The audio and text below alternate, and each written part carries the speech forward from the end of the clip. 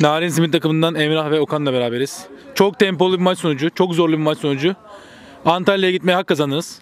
Golden League 2019 Sakarya'da şampiyon olan taraf oldunuz. Yorumlarınızı alabilir miyiz? Biz ilk çıktığımız maçta röportajda demiştik ki mekanın sahibi geri geldi. En başta dedim biz şampiyon olacağız diğer takımların sırasını belirlesin.